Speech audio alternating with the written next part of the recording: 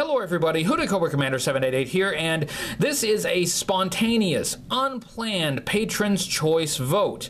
Uh, the video I have that's going to be going up on June 4th is coming along nicely, but the review that is planned after that, I need to come up with a new idea. I had something planned for the review on June 11th, but I don't think I'm quite ready to do what I had planned, so I need a new plan. I need a plan B and I need it on short notice. So I thought, why not let viewers decide what I should do for June 11th? So even though I hadn't planned a patron's choice uh, vote for that week, we're going to do one and we're going to do it right now. So I just grabbed three figures off my shelf. These are figures that I know uh, are ready to review. I have everything for them. Uh, and so I'm going to give you the three options. And so then you will go to Patreon and vote and pick the one that you uh, would like to see. So option one is going to be Roadblock. Uh, this is Roadblock version 2 from 1986.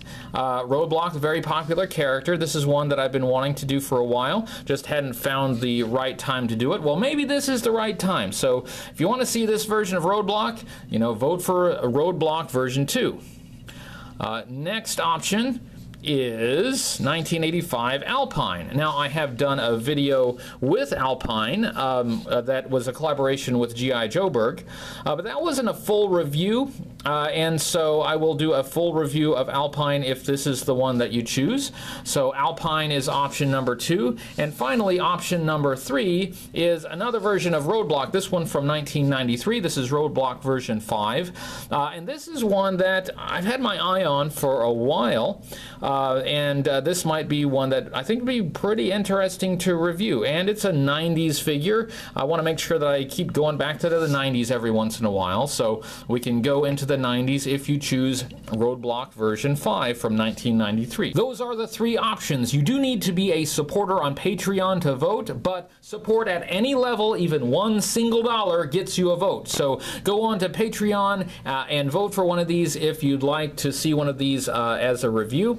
Uh, I, this is a short notice thing. I need your help and I need it right away. So I'm going to give you five days to vote.